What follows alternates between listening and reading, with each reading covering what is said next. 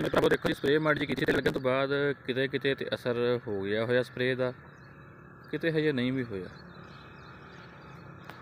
ਅੱਲਾ ਸਾਰਿਆਂ ਦਾ ਕਰਮ ਕਰੇ ਜੀ, ਫਸਲ ਸ਼ਾਨਦਾਰ ਹੋ ਜਵੇ।